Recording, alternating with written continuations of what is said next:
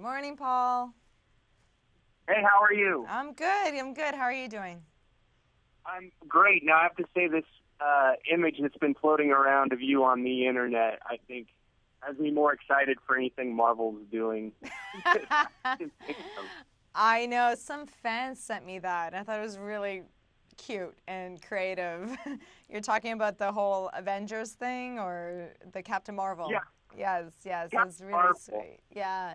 I have some incredible, talented, dedicated fans, and um, it was sweet. I just thought it was a lot of effort, and um, I thought it was really nice for them to do that.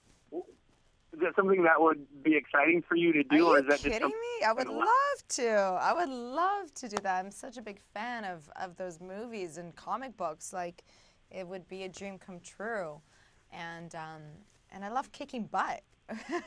La- uh, my character, kicks butt in the in, the Dark Ages. It would be interesting just to kind of go in the future and do a fantasy one as well.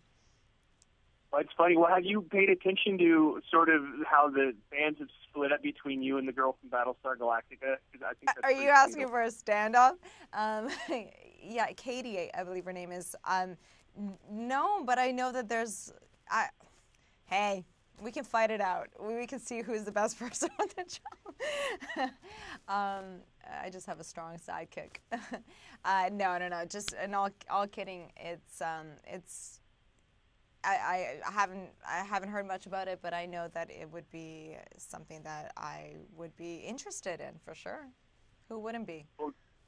We here are rooting for you. We're on your side. Thank you, thank you. But she looks great in costume too. I mean, they all Yeah. have on. no, I'm a huge huge fan of of of her TV show, and um, they could we- we could both be a part of the show and the franchise. I'm sure there's there's ways of doing it. Yes, there's always room for everybody.